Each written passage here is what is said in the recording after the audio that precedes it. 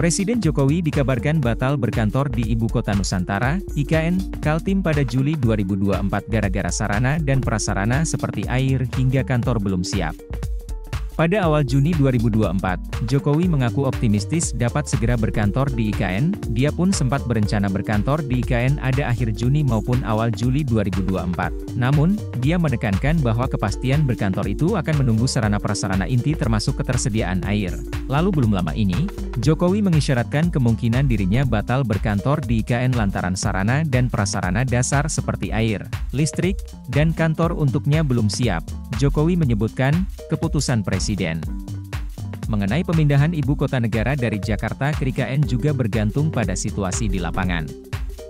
Dia mengatakan, kepres pemindahan ibu kota bisa saja terbit sebelum atau setelah Oktober 2024 ketika ia sudah lengser dari jabatan presiden. Ditanyai mengenai hal ini, Ketua Satgas Perencanaan Pembangunan Infrastruktur IKN Kementerian PUPR Imam Santoso Ernawi mengatakan, pihaknya terus mengerjakan pembangunan infrastruktur di IKN dan secara reguler mengabarkan progresnya ke Menteri PUPR Basuki Hadi Mulyono, sementara untuk keputusan Presiden jadi atau tidak berkantor di IKN pada bulan ini. Hal tersebut bukan wewenangnya, dia merincikan, progres konstruksi jaringan air minum di IKN masih terus dikebut, agar bisa selesai sebelum upacara kemerdekaan 17 Agustus diselenggarakan di IKN. Pihaknya bahkan sempat memajukan target penyelesaian jaringan air minum ini pada 10 Juli 2024 dari sebelumnya 17 Juli. Namun lantaran kondisi cuaca di IKN intensitas hujannya sedang tinggi sehingga percepatan penyelesaian sulit direalisasikan.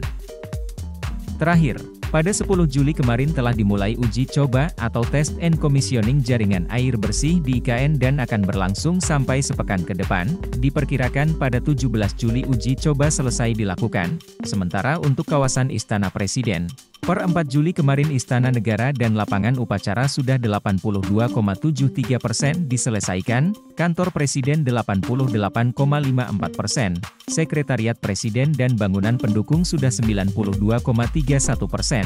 Dia mengungkapkan, pada upacara 17 Agustus nanti akan Difungsionalkan sebagian ruangan-ruangan di Istana Negara, sedangkan lapangan upacara dan podium sudah selesai 100% dan siap menampung 8.000 peserta upacara. Rencananya pada bulan ini akan dilakukan test and commissioning pada sejumlah infrastruktur utama penunjang upacara kemerdekaan seperti Istana Negara, lapangan upacara, hingga kantor presiden.